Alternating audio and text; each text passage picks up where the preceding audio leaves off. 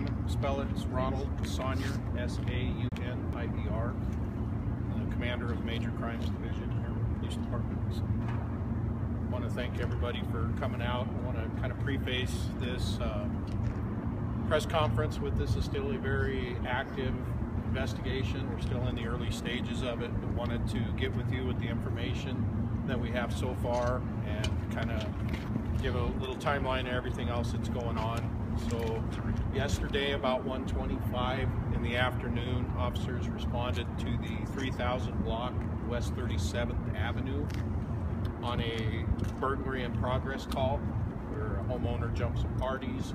Uh, that particular call spurred a lot of officers to cover into the area looking for suspects in that burglary call. Uh, at this point in time, we're still working to, you know, confirm or, you know, not sure that it's going to be related to the second one.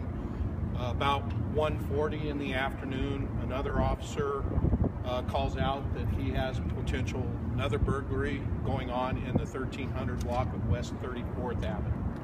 So the officers that had already responded into the area begin saturating this area and uh, the officer kind of stayed with uh, the evidence that was brought out of the house. There was also a vehicle that was located running in the alley behind, so he remained with that. Other officers covered into the area, and then an adjacent alley to that, a couple of cars came down there with officers in them. One is going to be an unmarked car. Uh, it was being followed by a marked car. Uh, they spotted two suspects that matched the description of the, the burglary on the 34th Avenue. They went to contact those parties. Uh, one party was taken into custody in the alley. The second party fled from that scene. Uh, both of these cars were two officer cars and the passenger officer in each one a foot pursuit of the suspect that fled from the area. Uh, that suspect fled kind of between the houses headed over towards Moncrief. Uh, one officer continued up the mouth of the alley to Lowell and then kind of made a left turn or head south back back on Lowell. Uh, the other officer kind of started cutting through the houses, came on to Moncrief about mid into that area.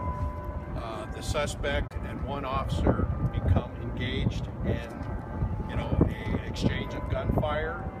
Uh, the officer at that point is hit and calls out. And then the uh, other officer at the same time is coming out from between the houses and winds up kind of seeing what's going on, confronting the officer. There was another exchange of gunfire there. Uh, the suspect then continued to flee westbound on Moncrief up to Lowell, where he then kind of cut across the parking lot, headed towards 32nd Avenue at at or near the intersection of 32nd and Lowell. He confronts a party that is just turned onto that street and winds up carjacking her at uh, gunpoint, taking her out of the car, gets into the car. There is uh, some more gunfire that happens right at that location. The vehicle then takes off. Uh, the district officers, district supervisors, and command officers authorize a pursuit. There's a short pursuit that goes on, uh, goes up uh, 30 or goes up Lowell to 38th, down 38th. As the suspect is coming back up onto uh, strikes a tree and some other things, comes to a rest. He then exits the vehicle at that point, and another exchange of gunfire goes on there, uh, where that party was uh, pronounced deceased at the scene there. Uh, so that's pretty much kind of the layout that's there. Like I said, we're still working. I'm not uh, ready at this time to say if the 37th Avenue burglary is related. We're still working on that. Because of uh, that investigation going on, we will be withholding the party that's arrested's mugshot. Uh, my direction to my investigators is, you know, to get that photo array done, and then we'll get that out to you as soon as we can. But we do need to uh, do a little bit more follow-up with that. Go ahead and open it up to any questions or Releasing the name of the suspect who's deceased, or is that? That's going to be released through the coroner's office, so they have to do their family notification and verification.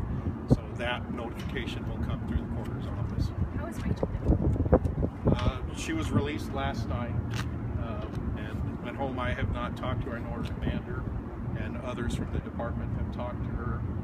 So I did talk to her briefly last night, and uh, we still need to get, you know, interview and stuff from that side. Is this Troy Ide's uh, daughter, by any chance? I don't know on that, I can't answer.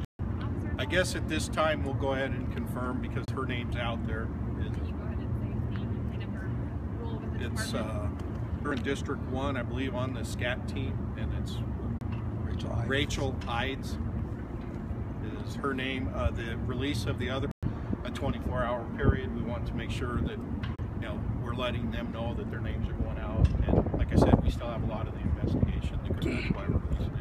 So, For any of the other officers, will they be put on leave or being administrative? Administratively, they're, they're the same stand based on kind of administrative leave pending the outcome of the investigation, which is standard for each of ours. We've heard from other residents and, looked on the some uptick in burglaries in that area. I know you can't say specifically, but are you looking at the possibility that these two suspects could be? I mean, the- throughout this investigation, we will be looking at, you know, if they're related to other burglaries. We still, you know, have some search warrants and everything else to vehicles, but yes, that will definitely be part of the investigation as it on goes. If, you know, they're related. She to was ones. shot in the foot, is inflicted. It is not a self-inflicted wound. It would, uh, I can make that very confident. Can you talk about this um, information? Is that something that you guys have been looking at? Are there, I mean, do you have any numbers or anything? I don't have the numbers on that. I would have to, you know, refer to the PIOs. But I know that, you know, during this incident, we had at least two that were going on, and you know, so we will be going back looking at. Is it possible that the 37th in Grove and this 34th in Irving, that there were two different sets of burglars then? It's possible. Is kind of a description from the first one, and the description of the parties that we have, and like I said, the the connection between the area. They did have the the you know special team up in that area, saturating area, just to address this area when they came across the second one. I'm not comfortable at this time saying those two are related or not. We just have more investigation we need to do. What do you say about the uh, criminal history? Uh, they have, uh, both suspects have a pretty extensive criminal history. Uh, once the party was on parole, I know, uh, but did have quite a bit of violent criminal history. Is that the one who's still alive? No, the ones, Do you have an approximate timeline of the first burglary and the second burglary? How first many- burglary got called in at 1:25 p.m. Officers were dispatched. Uh, and then at 13 or 1:40 p.m., the officer comes across the second car exiting with evidence in his hand and uh, flees from there. So. And how's the department doing today, just having so many officers been involved? It has been a rocky thing going forward. I think we're dealing with it the best we can. Uh, you know, it's fortunate that, you know, it wasn't one's got a gunshot. It was very critical and a long process going forward with that. So, you know, we deal with that, you know, on a day-to-day basis. Did you say that in the uh, the first, or the second episode, I guess it was the first episode, that the uh, homeowner That he wound up calling, calling in a burglary in progress. I'm not even sure that it was an attempt or if it was an act of that part of the investigation. We were here last night, uh, late hours, doing lots of video in, interviews. We had lots of civilian witnesses we brought down and interviewed. Like I said, I want to thank, you know, everybody that was involved out there had a lot of people come. Thank you, sir. All right, thank you. Commander?